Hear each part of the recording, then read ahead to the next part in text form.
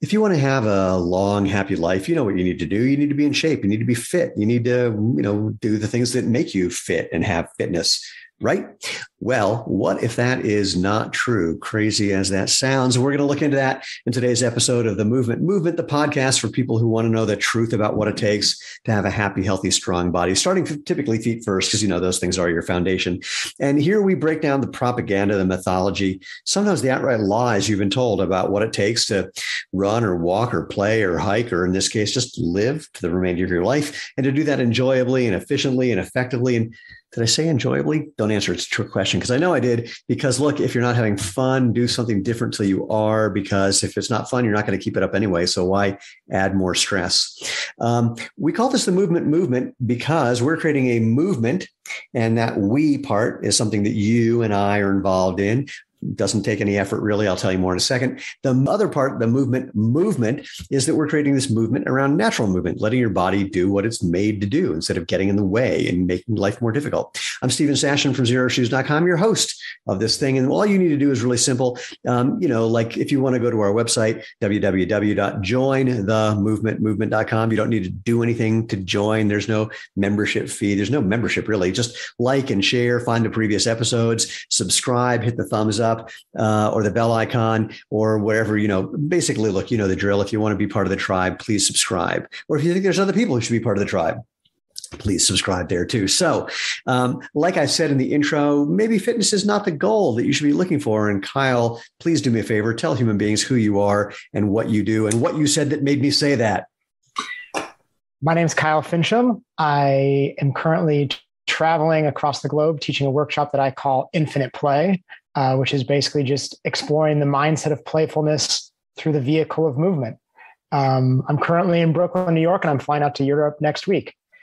Where in Brooklyn are you? I am in Bushwick right now. I was in Brooklyn a little while ago, and I, at every moment, was afraid I was going to get a ticket for not having a man bun or some other, you know, some other hip thing that I do not do. Yeah, I used to. Maybe about ten years ago, I was totally hip enough for any of the neighborhoods that I fell into. But now I walk out the door and I'm like, I have, I've passed that time. The, actually, one of the last times I was in Brooklyn, I was stunned to go by a guy who was selling artisanal pickles, five dollars each for a pickle, five bucks pickle. Wow. Yeah. You know what? I got back into eating bread when I was back in Europe uh, last you, year. And the baguettes are like, you know, a buck 50 or two bucks or right. something here. And here a baguette is like four or five bucks and it's just from a grocery store or something. Oh no! I mean, well, everything in and around New York has gotten expensive. I, Lane and I were there two weeks ago, I think, um, for a board meeting, and I met a couple friends for breakfast and uh, three eggs and toast. Guess how much? Twelve bucks. Oh, you're so cute. Eighteen to twenty. Three oh. eggs and oh. toast. When you I think that it hit me in the chest. Yeah, I got a I got a down payment on a piece of pizza. Wow. So it is. I mean, pizza used to be a buck, buck and a half and now you know 375 anyway enough about um, the price of food in and around the great city of new york um, so infinite play say more about that and how that relates to what i kind of tease this with about fitness and maybe it's not the best thing for uh, best goal to have or the thing that you need yeah i think that you know we're kind of led to believe that like if we're strong if we're flexible if we're mobile if we have a, a whole bunch of moves and techniques that it's synonymous with being able to move through life playfully. And I've just come to believe that that's not the case, that in some ways, kind of getting caught up in the systems or the boxes or the definitions can actually be this great limitation for us because life is full of surprises. Life is random. Life is accidents. And to move through it playfully means to be welcoming of surprise and welcoming of the randomness and welcoming of the accidents. And maybe sometimes that means we're strong in certain areas we're kind of flexible in certain areas or we have some moves but having kind of the the full collection of all is not the same as being able to move through life the way the rest of the animals and the rest of nature navigates life. And that's what i like to explore in my workshop Fascinating. So then eh, we're using the word move in maybe two different ways. One Mm-hmm. about the movements involved in fitness activities, for example, um, Mm-hmm. being able to run, being able to lift, being able to climb, being able to whatever. But another, uh, when you're talking about moving through life, there's more of a metaphorical component to that. So can Mhm. you kind of pick that apart a little for me? So I, and, and maybe you can do that by explaining something more about what somebody would do if they were joining you for a workshop. Totally. Well, I mean, ultimately, at the end of the day, movement is not just an activity that we do. Movement is our way of communicating with the world. We just have this privilege of having to not use our um, our full library of communication skills because everything is kind of convenient and sanitized at this point. But movement, you know, worked in relation with our senses, and we would use that to kind of move through life in terms of how we communicate with other people, how we communicate with the spaces that we move through. And that's why we have this kind of uh, amazing potential for movement. So in my workshop, I'm not so much caught up in like kind of distilling down all the different movements and break them into what we can do. I'm kind of interested in presenting scenarios where we're willing to get lost, Mm. right? And be okay with that rather than having to Google map everything. Interesting. So bef- I'm going to ask you this question, but I have to tell you a story before you answer it. The question is, given that, and given that this is the Movement Movement podcast, um, I'm going to ask you to share something that people, so people can have an experience of what you're saying rather than just hearing it and maybe kind of, you know, co- I'm doing this thing lately where I kind of go, hmm, and I cock my head a little, like 45 degrees, because um, my wife and I, for the first time in our lives, are now dog owners. So we have a dog that is, you know, does that. Like what? But here's the story I'm going to tell you that maybe it, it, there's, I mean, it sounds like there may be an analog, and I'm, I want you to tell me if it's true. When I was in my 20s, at the advice of a crazy girlfriend, I found myself in a group therapy group. Not suggesting the group therapy means you're, I mean, it's a fine thing, but I, I went because she told me to, and um, ultimately did not get a whole lot out of it. But there was this one great moment where I realized that everybody was sitting in the same seat, or more accurately, there's one person in particular who always sat in the same seat. And I happened to show up at the group one time earlier than anybody else. So I sat in, quote, her seat. And she came in and told me to move. And I said, why? She says, that's my seat. I said, it's a seat. And uh, she got went crazy. And when all the group was there, you know, there's a big kerfuffle about who was sitting where. And I remember at one point she said, "I thought this was a safe space." I and I said, "It's safe enough to discover that you can sit anywhere and be okay." Mhm. So, am I way off base with that story? No, I mean a, a story that I like to tell is a one that a friend of mine shared with me about his time in college, and he and I are about the same age, like late 30s. So it was before there were Google Maps, which I referred to before, and he talked about how he and his friends would take road trips often during like the spring breaks and summer vacations and things like that. And he says that when he looks back on that time and those uh, adventures they went on, the things that he remembers most and the things that are most special to him are the times that they got lost. And we have done this really great job of like making everything fast and efficient, Mm, right? But at the same time, we've limited getting lost. mm. And the magic, I think, might be in the getting lost. I, you know, there's a variation of that. I remember having to drive when I was living in New York City. This is 30 years ago. I had to drive to somewhere outside of Scranton, Pennsylvania. There's a camp that I went to as a kid. They were having a 50th anniversary party, and I had to go. And I remember looking at a map. Uh, if people remember what those are, an actual map, like in a in a big big atlasy kind of book thing. And I, what was really fun is the maps had roadside attractions that were clearly marked. And in the middle of Pennsylvania, you know, there was a, a wild animal preserve or some, like a reptile and some other strange animal sanctuary or something. And it was like all these wacky things. And I built a trip around everything that was off the main roads to just go from one of these things to another to another to another and uh, it was totally ridiculous and delightful and you just can't do that anymore i mean not by looking at a you know like not looking at google maps. Right. And I think that the the the larger repercussions of this this way is that it makes us think that like we can kind of control and be certain of everything and we can limit our lost and we can prevent surprise.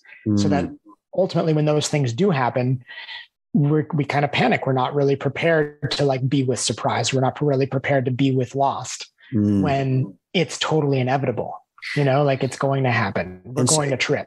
And so you're suggesting, and I'm going to get Mhm. back to the give something to people to share or share something with people.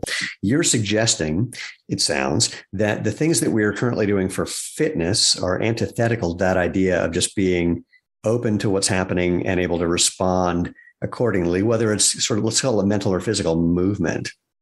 Yeah, I think that the things that we're doing now are are fine if we also do the other thing.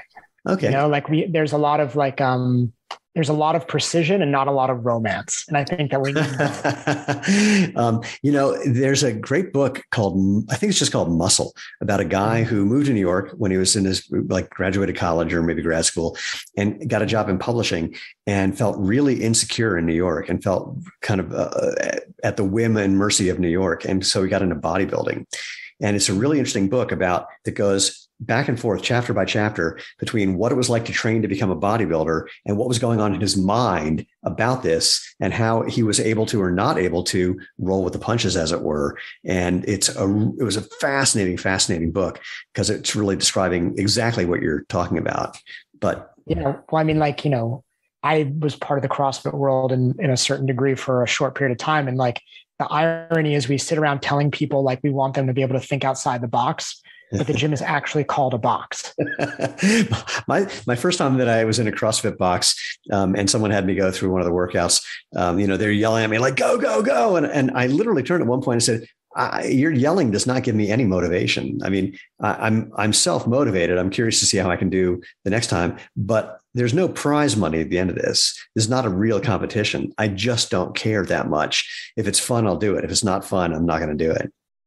Well, and also, you know, competition is just so of this part of the world at this day and age. And, you know, I think we kind of celebrate it and make everything into like the, the, we think that it's the way, but I think that we've made it really far by, by also being quite cooperative. And I think Mm. that things like play are places to kind of explore our potential for cooperation. Mm.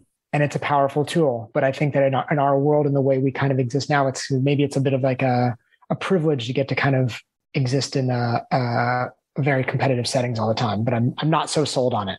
Well, I can tell you from my experience, there's two things. One, as a competitive sprinter, I love the competition because mm-hmm. it, for a couple of reasons. One, I have a naturally competitive streak in me, so it gives me a place to indulge in that um, in a way that's entertaining. Um, it also gives me a reason to get out on the track because I'm imagining these things that I want to accomplish because I enjoy doing them, um, Mhm. and so it gives me a f- bit of a focus. When I was doing physical things where there was no end result, um, some of the things I was doing, it's like, oh, this is more pain than gain, so I'm not Mhm. gonna, I'm not gonna do it. But I like that. The flip side is, I, I will say that the more I've come to understand what big shoe companies have been doing for 50 years and how it's been hurting people and how we're hearing from people daily saying, oh my God, this natural movement thing changed my life. It's brought out a competitive streak in me in on the business side that I didn't really know that I had. And Mhm. I it's engaging in a certain way, but I can't say it's enjoyable. Mm-hmm. Um, and the cooperation thing is intriguing because I'm like, I'm friends with most of my competitors because we are all trying to do the same thing. We need to play together in some way. So it's a really interesting kind of balance between, uh, it's like when I'm at the track, some guy will usually say, you know, like really intense, like, you know, good, good luck in the race, good, have a good race. And I'll say, hey, hey, dude, there's no prize money, there's no sponsorship, have fun. Hopefully you won't get injured. Oh, and by the way, I totally want to kick your ass. and, I say it that kind of casually because it really is that casual. I will or I won't. Who cares? It doesn't really matter in the long run. I rumor has it my wife won't leave me if I'm second in a hundred meters. Um, I don't know. Uh, so, all right, I've, I've mentioned this five times or so. So now I'm going to put you on the spot. So, gives people something that they can experience from what we've been talking about, which is again a, can be a little out in. I'll, I'll give two things, and one of them I kind of already mentioned, but I'll give two. Okay. The first one is very much a movement task, Okay. um, and it's one that I use often. But grab a ball, any kind, like a tennis ball or uh, a lacrosse ball, whatever you got, lay it on the ground, get onto the floor on your hands and your feet or your hands and your knees. I don't really care, and maybe move just in that position around on the floor, and just keep the ball moving. Keep the ball moving only using your hands and your feet. And then if your hands and your feet have seemed to you like felt like you've become competent, maybe use other parts of your body to keep the ball moving, like your shoulder or your elbow or your wrist or your chin, back of your head, right? And just keep the ball moving. Ooh, that's a really good question. If someone as someone's doing that, to wonder every now and then what part of my body haven't I used? It's also a good opportunity to drag in your friend or your roommate or your spouse and ask them to t- tell you what part of your body to touch the ball with. Oh, that's a good one too. I um, this reminds me. I, have been known to do things at workshops where they say, you know, find a safe space to do something. Uh, I've been known to walk out the door because I'm just thinking, what's the most what's the most outrageous way I could do this thing that they're asking? What would be the one thing that no one thought to do? And then it's like, you know, leave. Mm-hmm. Mm-hmm. I love that. I love that. Nice risk. I like it's a that. good. Well, you know, I mean, I'm I'm kind of curious to see what'll happen. Um, mm-hmm. That's a good one. So, and was the first one just go somewhere and get lost? Yeah, or I mean, like walk out your front door yeah. and get on your bike or drive in your car, or ideally take a walk in Xero Shoes uh, or barefoot. But don't turn on Google Maps mm. and start heading in a direction you know. And then when you get to an intersection, when you normally would have turned right, turn left and just see what happens you know go get lost because both of these things are being playful. Both of these things are kind of the willingness to be surprised and kind of bask in the surprise. Mm. and you know getting places efficiently and, and always trying to treat things as if they're like a game to win is when we start limiting surprise right? Because as you know as a competitor when you're in competition mode like you want as few surprises as possible right? You don't want to trip on a stone. You don't want to like feel something that's like you want to every as much as you can control, you want to control for like that moment in time. But when we start doing life that way, when we start trying to limit surprise and try to uh, only do things that we're competent at, right? When the yeah. things happen that we're not competent at, or when surprise unfolds, or when the randomness happens, we're just not prepared, right? And we we get rigid in the way that we we we respond to surprise when we're not welcoming of surprise is to try to like defeat destroy, control, submit whatever that thing is. Yeah. As opposed to dance with it. Well, you know, it's funny about the the the structured competition at surprise. My favorite part of the race is the moment mm-hmm. between set and the gun going off, because mm-hmm. the whole technique is to be ready for, to be surprised. It's like mm-hmm. you can't be ready to go. You have to be. You kind of get set and re- and you're ready to go, and then you just have to be surprised. And I, it's actually my favorite thing when someone literally does surprise me. They come up behind me and I don't hear them because it's the most unadulterated, and I never thought of it this way, unadulterated experience of just mm-hmm. like jumping in the air and being shocked. I, I just totally, totally enjoy it. Yeah. So I use this quote often. So the reason I call my workshop Infinite Play is because I read this book Finite and Infinite Games by James Carse. Mm-hmm. And there's a famous quote that he has in there, and it's something like um, To be prepared against surprise is to be trained, to be prepared for surprise is to be educated. I like it. So mm-hmm. when you're when you're doing the workshops, what kind of people show up? What are they expecting, and what surprises them when they go through it? I think uh, it when I first started teaching, there was a lot of people who came from like movement, like kind of like the big M movement that seems to exist in the world now, because that's where I was like found like like movement culture movement. I'd been studying with Ido Portal for a really long time. So a lot of people who have movement facilities Got have it. hosted me and had me. And they're amazing. And then a lot of more recently, I think it's starting to transcend a little bit. Like the, the, the gaps are getting a little wider. The demographic is changing. It's a lot of different people. It's not necessarily people who come from movement, but who are maybe interested in movement philosophically. Mm. But in the end, I think people are quite moved.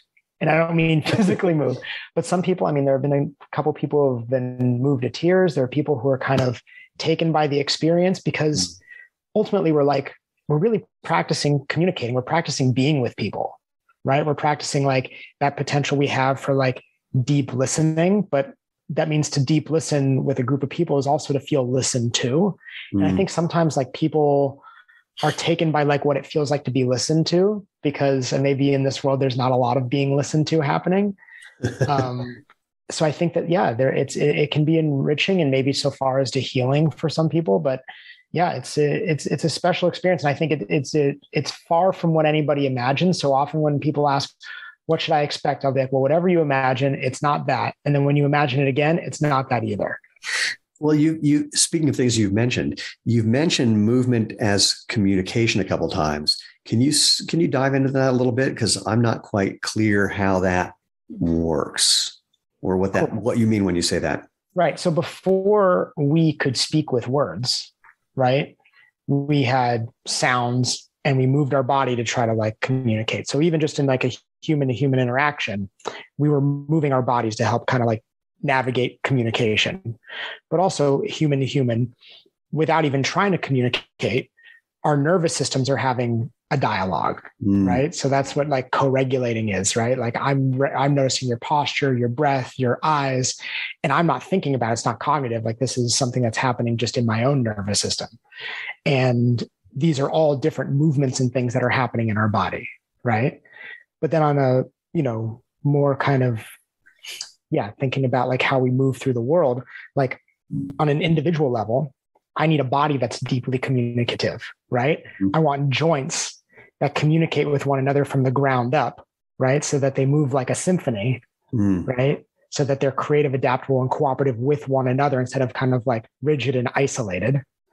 Um, same thing goes with people. I want to be able to be creative, adaptable, and cooperative, which means to communicate with another person so that when we walk into a scenario and you and I have like never done anything before, whether it's dancing together, fighting together, playing together, or talking with one another, I have the tools to kind of like move with that.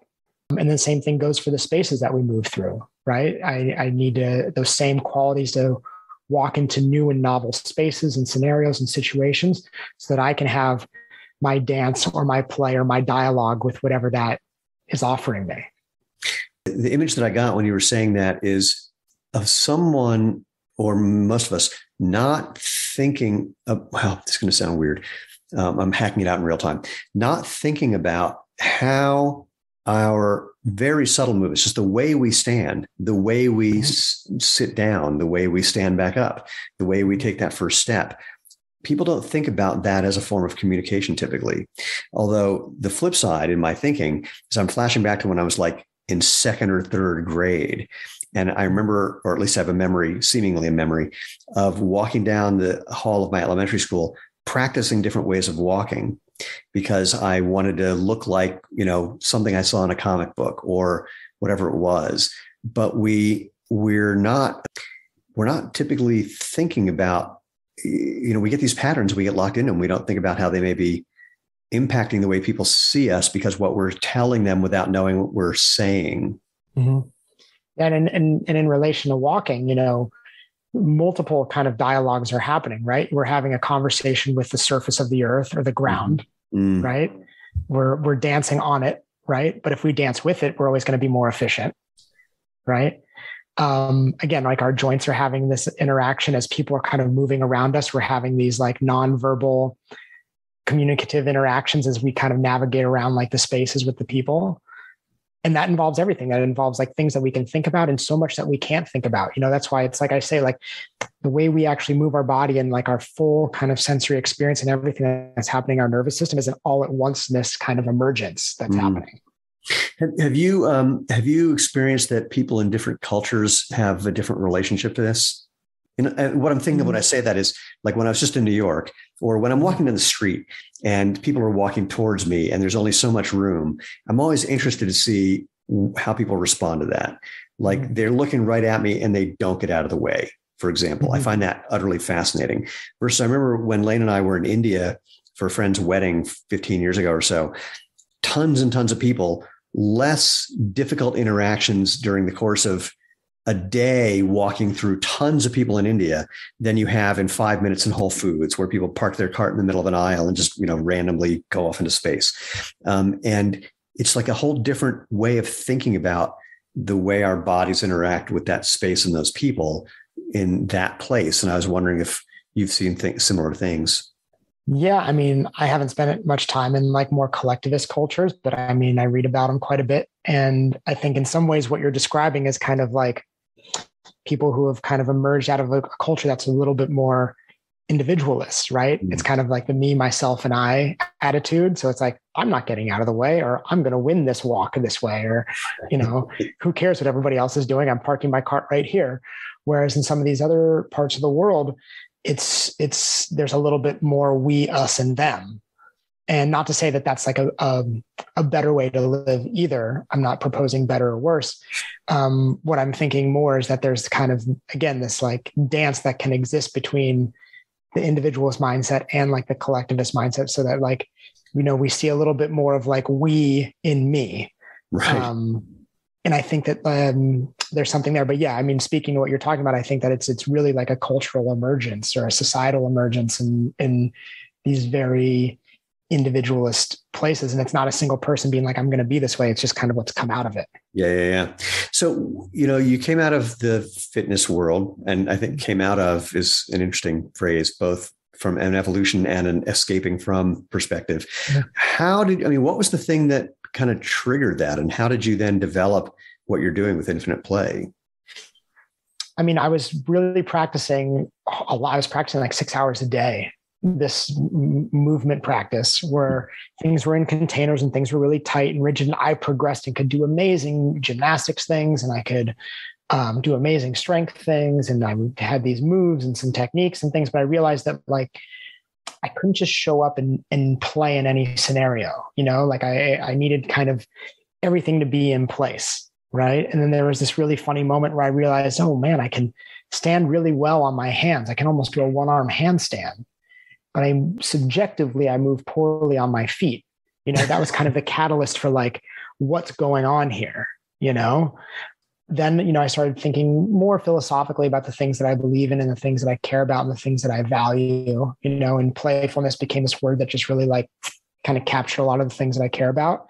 And I was talking to my friend Marlo Fisken, who's a, a really, really well-known pole movement teacher, performer, artist. She, I, she's a genius. And I just asked her one day, I said, hey, you know, what do you feel like isn't talked about enough in movement? And she said, how our practice and our teaching can reflect the changes that we want to see in the world.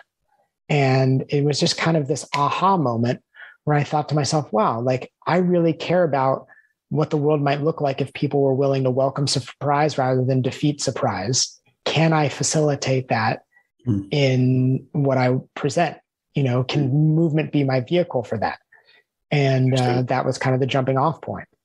And so from there, I mean, it sounds like that was a kind of aha, but not clearly fully formed something. It had, you know, mm-hmm. it, it, at some point had to take on a bit more of a, I don't want to use the word structure incorrectly, but it had to, you know, become a bit more mm, tangible at the very least. And I like that idea. How, what happened as you were in terms of developing it? Yeah, well, I was uh, fortunate enough that when I was I lived in Boulder for a few months, and there was a group that would meet me out there in the park in North Boulder Park twice a week, and they were just kind of like I don't want to say guinea pigs because we were really working on things together and creating together, but I was facilitating and trying and experimenting, and every day I would just kind of walk in with a couple little like nuggets of ideas.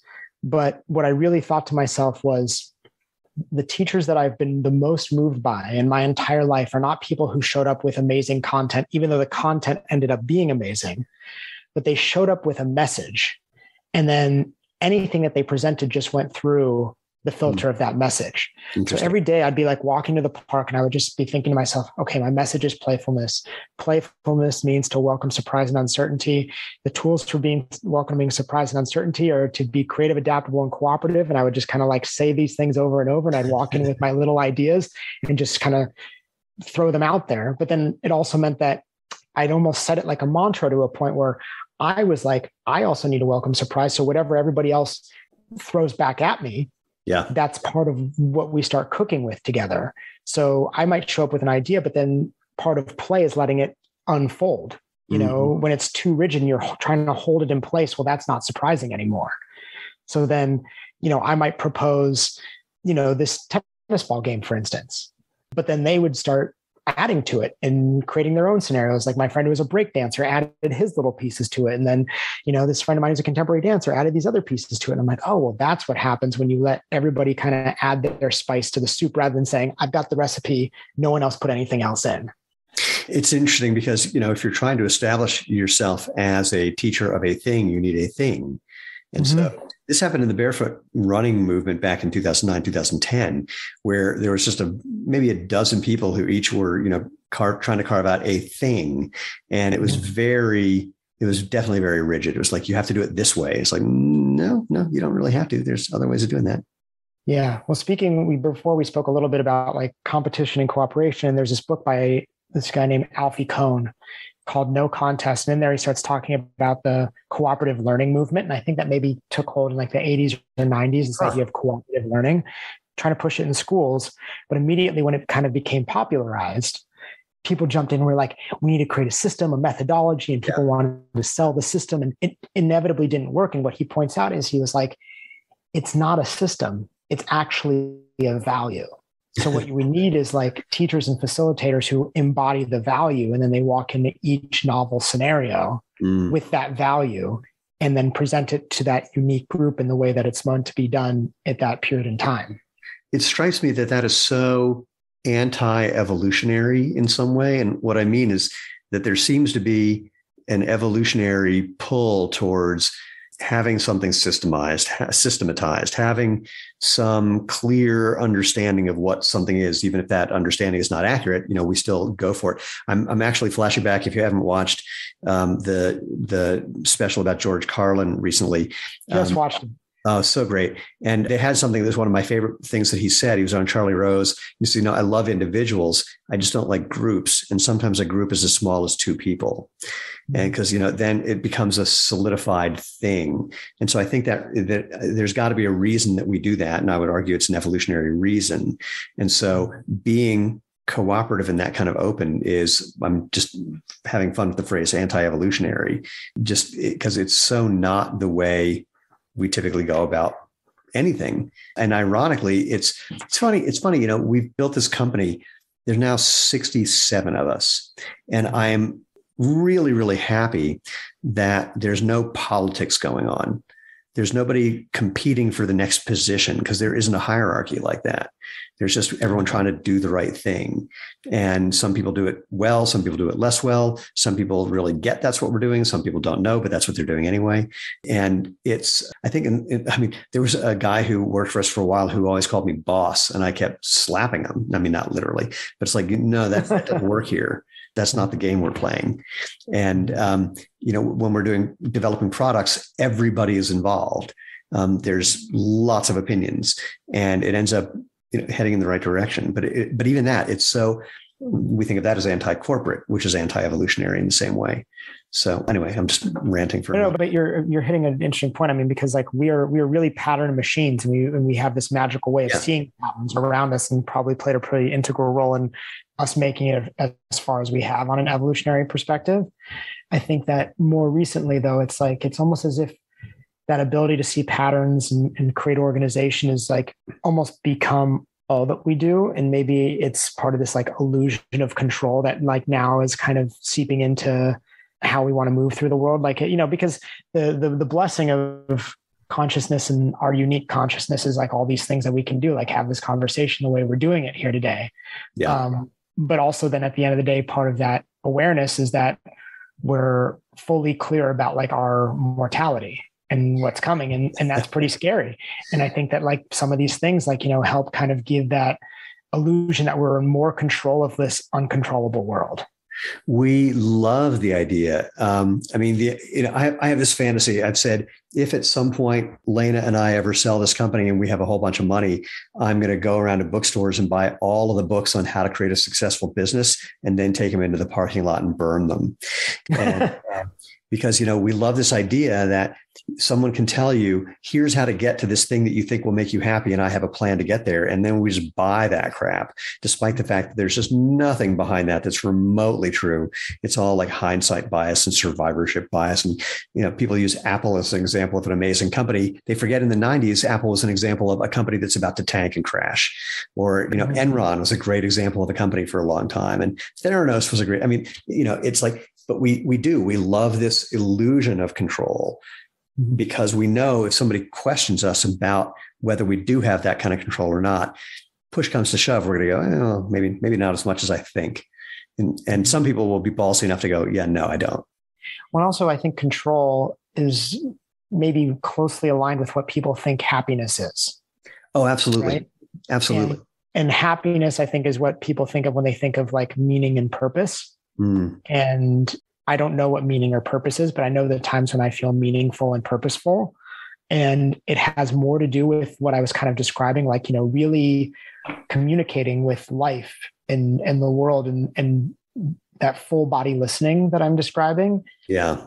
Those are the times where I'm like, this feels meaningful, like being with people, whether it's doing jujitsu or tossing a ball with them in the park, um, or moving through the natural world in, in ways that asks all my senses to come alive mm. and participate. Like there's some sort of feeling of, of meaningfulness in that. And I think mm. that there are just a lot of forces at play that want to make us think that it's it's something bigger, crazier, and probably more expensive. Well, again, you know, control, you know, like you said, uh, that connection between control and happiness, I think is, I think you're really onto it because we do think that if we can control fill in the blank, then we'll be happy, despite the fact that no one has ever been able to control that. It's my favorite thing to talk about with regard to diet. It seems that, like, the way people approach diet, it's the one thing they know they can control to a certain extent on a daily basis, which mm-hmm. gives them the idea that it will allow them to have the body that they want. It will allow them to, I mean, fill in the blank. But, you know, most of the time it's, it, again, a complete farce that mm-hmm that diet is going to be the thing that does fill. I mean, it, it, it seems to be, I don't want to put this, the last, what's the, there's a phrase that I'm looking for. It's like the last something of desperate men. Um, you know, w- whenever there's something going on in your life that's out of control, especially having it with your body, people turn to diet. It's like, oh, I've definitely got to change this. Where did you get that idea? There's a woman named Denise Minger who wrote a wonderful book called um, Death by Food Pyramid. And mm-hmm. she's written a bunch of great blogs that are really, really long essays about health and nutrition. And I'm not going to get into those per se, but the most interesting thing is uh, in the last couple of years, she's been saying that she's no longer has any, she's not going to write about nutrition any longer. And knowing her previous writing, where she would she became like the belle of the paleo ball because she was a diehard raw food vegan and it really like was affecting her health badly. So then she went the exact other way and became like, you know, I'm just going to eat nothing but animals that I kill with my own bare hands, um, which I'm exaggerating for the fun of it. But um, and then she decided to investigate these like the counterfactuals, like going outside the room when someone says find a safe space. So she looked because the paleo movement was all carbs are bad, sugar is bad. She found places where people eat lots of carbs and lots of refined sugar, totally, totally healthy. Um, she found that there was a thing called the rice diet uh, that they did at Duke, which was taking morbidly obese people and having them eat nothing but as much as they wanted white sugar, white rice, and fruit juice almost impossible to stay on the diet, except that it literally re- made them go down to a normal weight and reverse their diabetes permanently. So she was looking for these contrarian things anyway. Knowing that kind of thinking, when she said she's no longer going to write about nutrition, all I could extrapolate from that is she determined that there's no relationship between what you eat and longevity. Mm. Mm-hmm. Because, you know, but that's what we aim for. It's like, oh, I've got to eat this, otherwise fill in the blank. And um, I mean, I, I, joke with people that I'm on the I don't know what I'm going to do, or I don't know when I'm going to get hit by a bus diet. If, mm-hmm. if, it's enjoyable, I'm going to have some. I don't binge. It's not my thing. I mean, I'm making a cake right now. My birthday's coming up, and I'm testing a cake. There's more sugar in this cake than I eat in a year. Mm-hmm. Can't wait to try it. Well, I think, I, I, yeah, I mean, I think it's um, it's a, it's a, it's a it's a hard topic to get into because I know where many people can be coming from. But again, I almost I bring it back to almost like my message. I'm almost like, I don't know, if we were like more playful, and again, like playful isn't joyful, right? It's like mm. it's it's that place of just not trying to defeat everything. Mm. And if and if we were like that kind of with like the world around us, sometimes I think that some of these things would work themselves out. Like what? Know? Like, like I think that we have this kind of there's a lot there's an abundance of food. Yeah. Right. And I think that abundance is maybe a part of the emergence of the attempt to kind of control and defeat things. Right? want to yeah. make sure we always like have enough, but it means that we're like a lot is being defeated for that our abundance, you know, like what we do right. to land, what we do to animals, what we do, all these things. But like if we were a little more like playful with like our relationship to the world in that way, maybe there wouldn't be so much of this abundance, you know? Mm. And I would also say that if now, if I were to go a little bigger, like if we were talking about kind of like food companies and things like that, not being so competitive and playing this finite game of, of trying to defeat one another and have the most customers and make the most money, maybe products wouldn't be out there that were so deeply, you know, call it unhealthy yeah. for people in mass abundance and also super cheap. Oh, dude, we know people at pretty much every footwear brand and that we've ever spoken with who say, "Oh no, we totally get this natural movement thing. We just can't do it because it would be admitting that everything we've ever said is a lie." Right. And so, you know, the goal to make money with the idea that somehow that'll eventually make eventually make you and or your shareholders or whomever else is at play uh, happy uh, drives a lot of behavior that is detrimental. But I would also argue, though, that human beings in general, we're really bad at predicting what the consequences of our actions are.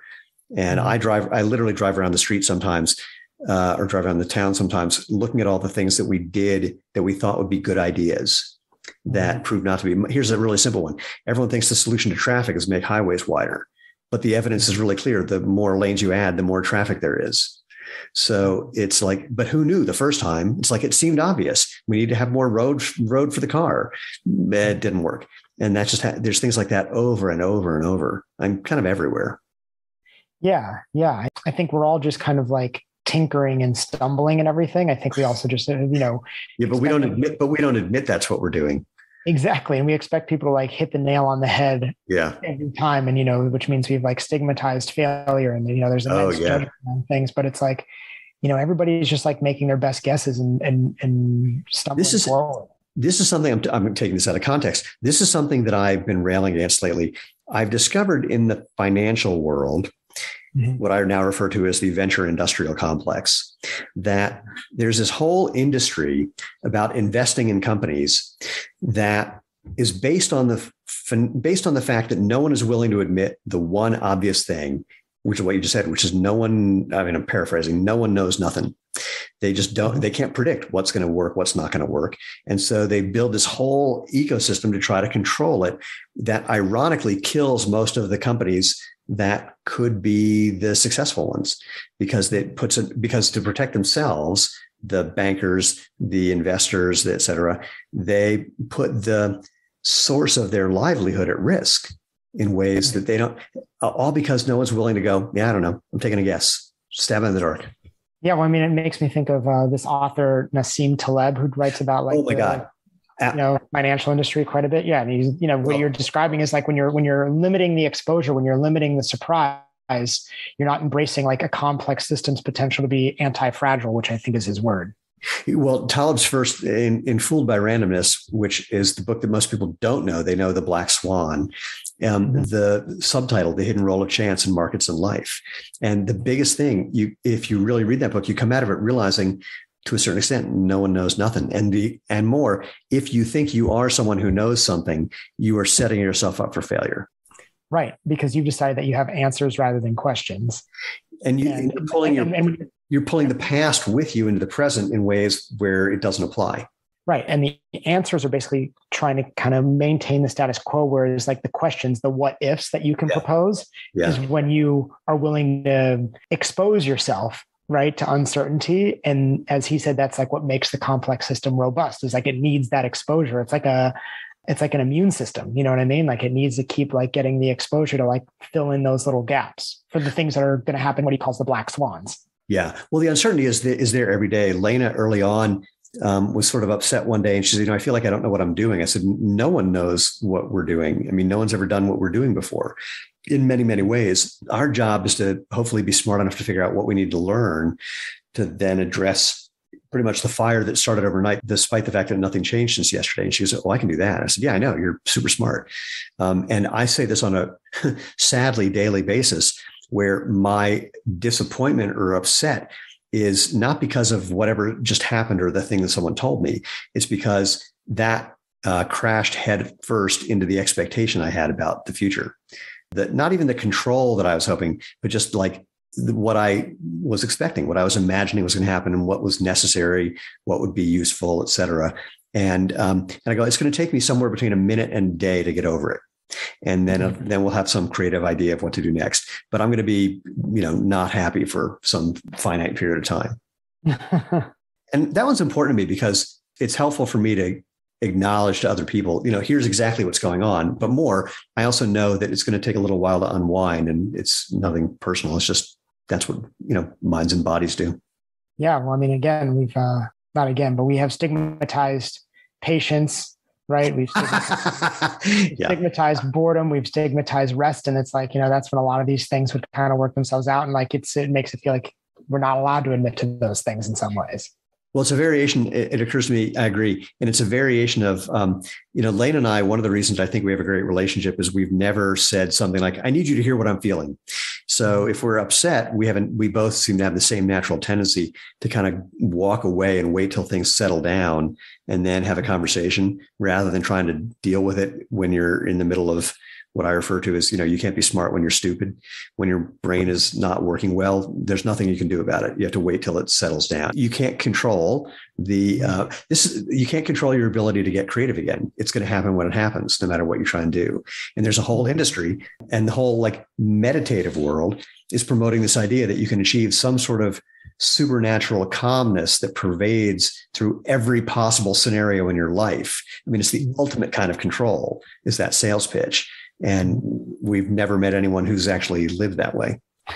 Yeah i mean i i meditate a lot and frequently and i would never claim any amount of like calmness but what i do believe is that it like you know from my understanding in like zen meditation right they do this thing called the koan right? And the koan is is like a riddle. And from my understanding it's there to basically distract your thinking mind right your conscious mind to a point that there are these little like cracks where your unconscious mind can kind of like seep through a little bit. And that that is that kind of integration of the conscious and the unconscious mind. And i think to myself that like to me meditation is is creating the opportunity to like see more options right? Because kind of underneath the the conscious mind which is like where our ego is built and like our ego is like the story of who we think we are mm. right our options are limited to that but like as you go lower towards like the unconscious like that like kind of pure consciousness it's a sea of options mm. right that are below our, our what we think we can who we think we are and kind of creating the opportunities for those cracks to come through i think is is a pretty valuable little tool I think I'm going to reframe koan practice for you in a way that I, I hope is useful. Mm-hmm. I think it's actually a form of play. Mm-hmm. I think because what it's pointing out is which part of your body isn't touching the tennis ball. Mm-hmm. What it's pointing out is which thing, what's that way that you're standing that's communicated something that no one had told you. And the koan gives you a chance to eventually see it because you just can't there's nowhere else to go. It's like, mm-hmm. you know, what was your face? Show me your face before you were born. You can't do that logically. There's no right answer. And the only way, the way you quote solve the koan is by doing something that breaks out of the box of only rolling the ball with your right hand to come exactly. up with an answer. So I don't need, I, I, I don't know from, you know, conscious, unconscious, but koan's like, because uh, I've gone through a bunch. I'll tell you this one. A friend of mine was doing a long time Zen session, uh, you know, meditating for 20 hours a day and he was just like really really like like really aggressively trying to make sure he wasn't having any thoughts and he was you know just doing the practice. And the teacher pulls him aside at four in the morning and says this is about being kind to yourself and having fun. He's like what? And people but people approach that practice often trying to you know as another thing to, to win. to, yeah yeah yeah yeah yeah mm-hmm. So, but I mean, I literally think of koan practices as um, they're really clever jokes. And if you don't get the joke, then you're going to be frustrated by it. And once you get the joke, then the response is really, I mean, that's the natural response, whatever that means. And you said it there. You said it's like a form of play, but like when you're when you're playing, you're creating the opportunity for the same thing to happen right? Yeah. For the opportunity to see the more options. Yeah. Well, you know, and that's the other thing about whether it's um, Zen practice or you know, whether it's koan practice or any other form of meditation. You're putting yourself in a situation where you've limited your options to begin with. You're sitting in a place in a way, trying not to move. Mm-hmm. Um, and and I, I, like to think of certain meditations where it's shoving you into a corner so deeply that your only response, because you can't get out of the corner, is to do something completely unconditioned because mm-hmm. there's no other option. You're just mm-hmm. backed up as far as you can go. And you got to break out of that. And you can't do it in any way that's ever been done before. So the options are limitless. And you get there by being crazily limited. Yeah. Yeah. It's like with any sort of play or improvisation, it's like it's the create it's the constraints that create the opportunities. I um, you know, I used to do something. I don't. I, I, had a word for what I did, but I can't remember what it was. I'd go and see when I was doing comedy for a living. I'd go see friends who did improv, and my favorite thing to do was whenever they asked for a suggestion, was think of the most outrageous thing they could, eh, you know, they've ever heard. So it would you just then watch them go, oh crap, I'm going to really have to do something totally different here because I have no idea where to go with that one. Name something people are obsessed with: bulgur wheat. and then, then, you watch people's heads explode for a few minutes. and uh, or my favorite one, I don't think this was mine. I think this was the one that gave me the idea. Someone said, "Give me a popular phrase," and this is at a university with a bunch of science people. And the phrase that someone yelled out was "Ontogeny recapitulates phylogeny." and watch a bunch of really good improv actors go, "Uh." and they and they redid it syllable by syllable. That was the only way. Wow! Wow! well, speaking speaking of improv, since uh, since you said it, it's one of my favorite things to mention because you know there's always this these talks that come up right around like the movement space of who great movers are like who yeah. who who are these amazing characters and you know oftentimes you know like Bruce Lee will come up or Charlie Chaplin. You know, these are like the kind of the the, the ideal movers. And Charlie Chaplin's amazing, but I, people often say Bruce Lee, and I and I say like I'm not so like I don't know a ton about Bruce Lee. I know that he created an art form and he's amazing and and and all, all this, but I really don't know enough about him to know that that's my kind of like north star for movement. Yeah, because I don't know enough to know whether he was playful, but there is somebody who I do know is quite playful and that's my North Star. And I always say that it's Bill Murray. he can show up and sees options in any scenario with any person and can move playfully through life. And to me, I'm like, that's the thing. You know, I think about that one a lot because I wonder if Bill Murray could be Bill Murray if he wasn't Bill Murray. If people didn't know who he was, if he wasn't rich, if he, you know, mm-hmm. if, if he didn't have this thing walking in the door where people already are okay with that. If you just did that as a normal human being, mm-hmm. um, there's a some of the things I, I, think about this. Some of the things he's done, he could get away with if he was just a normal dude. Others, not a chance. Right. And that's the part that I'm intrigued by. Like but he does, he does seem to have a strong awareness of his role and absolutely be him. And I think that, that he's able to like play with that. It makes me think that if he wasn't famous Bill Murray, yeah, and still had that awareness, he would be able to play with the different options minus well, the fame. I'm willing to bet that he did some of those things before he became Bill Murray, um, mostly around friends and mm-hmm. mostly in situations that either made them, you know, fall on the floor laughing or embarrassed them to no end. Um, but then when he became Bill Murray, it became open season. It's like I can live my whole life like this and just yeah. go from one to the other. Now, granted, he's having some think some issues right now, ostensibly, but independent of that, you know, yeah, to be to know that you can be a catalyst for fun at a level yeah. that no one else, that maybe no one else on the planet can pull off. Mm-hmm. I just mm-hmm. keep thinking that must be the best. Yeah. Now, I don't know. It'd be really interesting to find him and find out what his perception of that is. It may be that he thinks there's a whole lot of pressure there too, but um, uh, but that's a really that's a really interesting one. Are you? I can't ever. As we're having this talk about him, all I can think about is him showing up at a frat party. Do you know that story? No, is that was I think that one was in the movie. I watched this movie. Yeah, yeah it was. It yeah, was. I thought. Yeah, my friend. I I've talked about this before, but my friend uh, who I haven't talked to in many years, but he told me once he had a Bill Murray story from the Village here. Uh, he and his buddy were walking down the street smoking a joint, and Bill Murray came up to him and asked if he could have a hit. So Bill Murray's like holding this joint now, and he's smoking weed with them, and they're chatting, and these guys are like, "This is the best night ever." Um, and he said, he said to them, You guys want to have a really great story to tell? And I think they were both like, man, the story's already amazing, but sure, let's make it better. So Bill Murray shoves both of them and then takes off running down the street with the joint in his hand. And he gets like a block away and he screams at him, Now you can tell everyone that Bill Murray stole weed from you.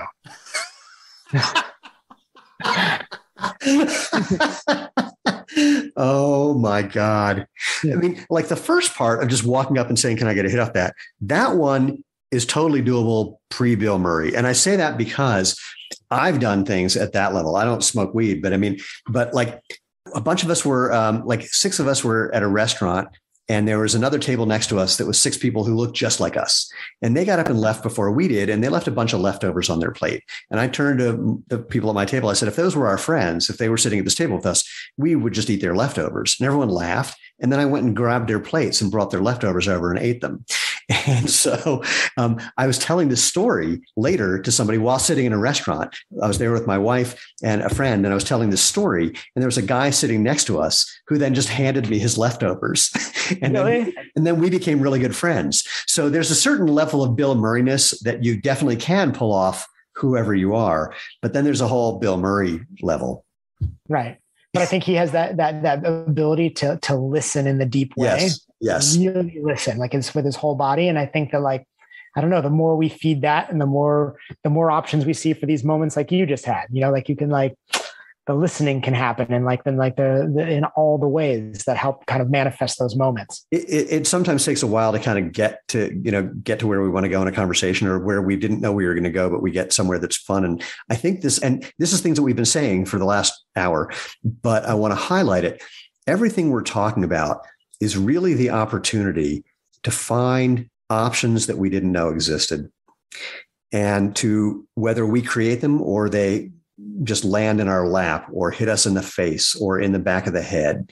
Um, it's just how can we create options? And I think the idea of um, turning Bill Murray into a verb might be, um, you know, might be a good place to land with that. How can we Bill Murray this? Exactly. Oh, I love that. I love that. If things don't, if, if things don't work out for infinite play, I'm just going to start calling it Bill Murray. That's Bill Murraying.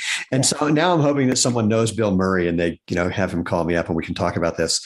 Um, because I, there's no question in my mind that to a certain extent we have done a little positive projection and are thinking that his life is better than maybe it is. And there's also a part where we don't know the half of it and mm-hmm. uh, um, and you know we may not have heard the best stories yet. Yeah, yeah. Well, yeah. If you if you can get him on the podcast, just let me know so I can at least come on and like uh, throw a few questions at him. I'm just going to try and get him on the phone and get some shoes on his feet. Are you nuts? So, so, so, so now that we've kind of, you know, taken this wacky circuitous route, which is of course appropriate for the conversation because we had no idea where we were going to go and, and there it went. As we bring this in for not even a landing, but for the transition from what we've been doing to something next where we're not on a podcast. and what would you like to kind of leave people with, in addition to how can they get in touch with you? Is there anything else that you want to kind of call, bring this to the next whatever with? Yeah, I th- think that one thing that I often like to remind people of is that we often exist in places, right? Where we're led to feel like we're not enough. And it can be like in, in friendships or in workshops or in our societies or our jobs where we're made to feel like what we are right now is not enough and we need to do more to mm. become the thing that we're supposed to be which also leaves us wishing that yesterday and a year ago we had done the thing so that in this moment we would be the thing that we were supposed to that we think we'll be in 5 years or whatever. Yeah. Yeah. And really what i i want to emphasize is that like when we play it's this beautiful gateway to like seeing that like right now we're enough and right now we have all the things that we need to to to be and enjoy and be happy. And all it just needs to do is just be dusted off a little bit because the enoughness exists right now. And i wish for more spaces where where we where we kind of celebrate the you are enough idea as opposed to always getting everybody caught up in the time traveling of you're not enough here's the reasons you're not enough. Someday you'll be enough. I, I um, say, I say, just for a moment, drop the idea that you're a self improvement project. Yeah, yeah, yeah, and that right now you're perfect. If you lock out the door and think, "Oh, like I have all the tools, I'm enough," I've got it. Like whatever I am today is exactly what I'm supposed to be. I think that like the play will be will be really enjoyable. I think there's a. I want to add a caveat to that. Tell me what you think of this. The I know that if when you say something like that to some people, they think, yeah, but I don't like fill in the blank. Something about myself, the way I'm thinking, the way my body is, whatever. Let's just use thinking. Like you know, I have negative thoughts. Like, yeah, that's okay. That's just what's arising now, and we have the idea. If someone says, "Hey, you know, you're fine as you are, you're enough," they go, they project and imagine that what that means is they're going to have that same experience in perpetuity Mm-hmm. They'll have some unpleasant thing in perpetuity, and that argues with the idea of being enough or being whatever, or certainly perfect, and forget that in a moment that may change. And in fact, in the moment that they're arguing in their head with this idea, it's already changed. That that right. you know, it's slow. Again, it's there's that thing of just seeing the landscape differently. And what you just said is a provocative way of doing it because it will it will come right up into people's face and saying, no, my fill in the blank is not fill in the blank. And mm-hmm. uh, I mean, they're mad libs, they're doing mad libs with their own self um, to mm-hmm. argue with that idea.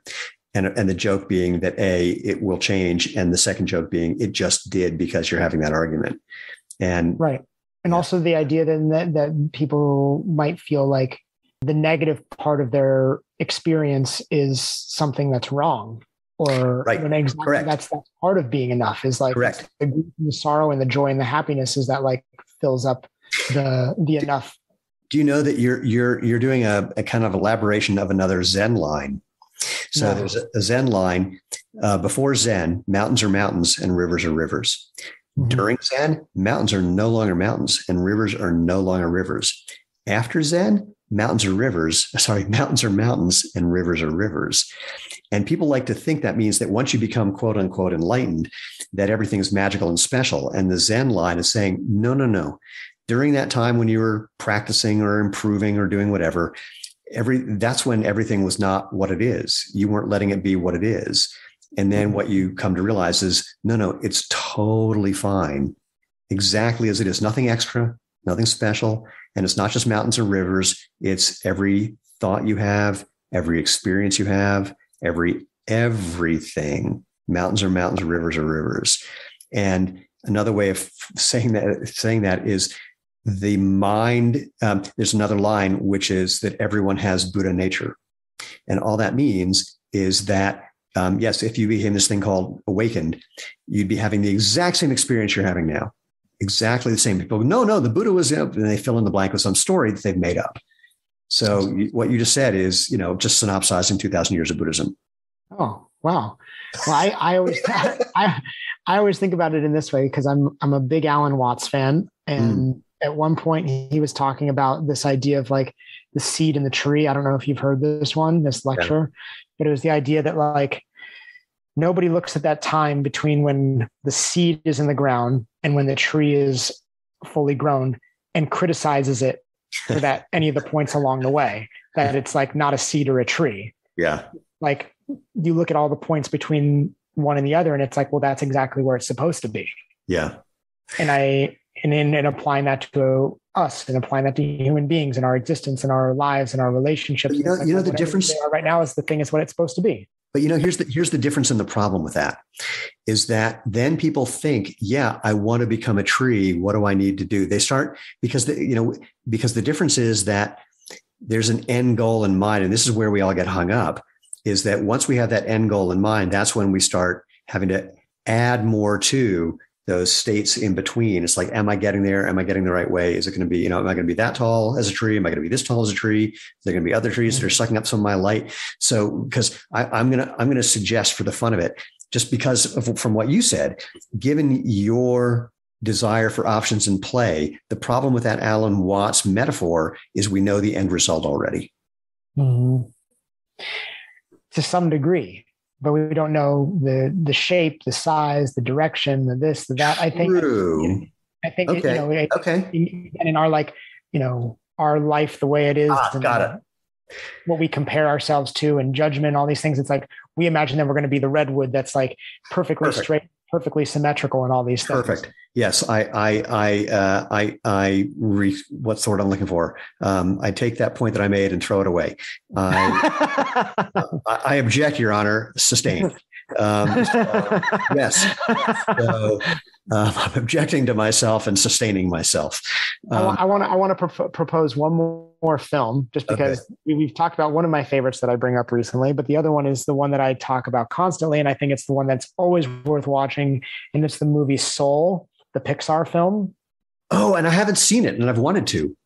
Oh well, then we might have to do a part two. But okay. you should watch Soul. Okay. Um, and there's just this beautiful, beautiful scene where this soul that's never been to Earth before is on Earth for the first time in like an adult body that right. it's like arrived in, and is like moving through these moments and like feel like witnessing like the leaf fall from a tree and tasting pizza for the first time and having this like amazing conversation with a barber and then feeling the wind blow up and, from the grate underneath um, from the subway and and just being taken by by all yeah. of it yeah. you know and the idea that like it's not you know the seed in the tree of these like kind of peak moments right that yeah. we're kind of always looking for these peaks but like all of that space in between is also like the space where like those same feelings and experiences can happen if we're like if we're listening I'm I'm now taking your tree, your and Alan Watts's tree metaphor to the next phase, where the, where the tree uh, has done as much as it can and for whatever reason falls down, decomposes, and starts all over again. Mm-hmm. And um, and I like that one. And by the way, with Soul, I think some of that was taken from Starman, which is with Jeff Bridges, where it's my favorite bit where he discovers apple pie. So he's you know comes into a human body, and then there's a scene where they're at a diner and they bring the pie and the food. He starts eating the pie first, and I, I wish I could remember the name of the actress who plays opposite him. No, no, you eat that last. It's like yeah, okay. And then just eats the pie. and it's like, yeah. no, no, this is the way to do it. yeah. yeah. So, um, all right. Well, that was the that was the most um, non-landing landing we've ever taken. That was really delightful. Um, Kyle, if somebody wants to get in touch with you and have more fun, how do they do that? Uh, my website is kylefincham.com and I've got my blog on there. I've got the podcast and your episode will be up uh, in the next couple weeks. Holy smokes. Um, I also have my schedule for my upcoming events. So I'll be headed to Europe next week and I'll be there all the way through August doing a workshop every single weekend. And then my Instagram is just at the infinite play guy. The infinite play guy. I like it. And Kyle Fincham, by the way, K Y L E F I N C H A M. Did I get it right? Cool. Right on. Beautiful. Kyle, total, total treat. Um, really looking forward to what's next. Thank you so much for being here, even though you're not here, you're just a disembodied face on my computer screen. Yeah, and in real life too. I have no evidence that you have a body at this point. Um, for, all I, for, all I, know, you're just a head and a torso. So the feeling is mutual. well, I am just a head and a torso. So there you go. Uh, for everybody else who may also be heads and torsos at some time in your life, Thank you for being here. Go to www.jointhemovementmovement.com. Find previous episodes, other ways you can find the podcast, how you can find us on social media, um, which is YouTube and Facebook and Instagram. And you know, social media is what am I saying? Um, and again, like and share and thumbs up and hit the bell on YouTube. Again, if you want to be part of the tribe, just subscribe. And if you have any requests or feedback um, or people, you know, things that you think I should know or someone who should be on the show or whatever you can think of, you can drop me an email. It's just move, M O V E at jointhemovementmovement.com. And until the next one, as always, just go out, have fun, and live life feet first.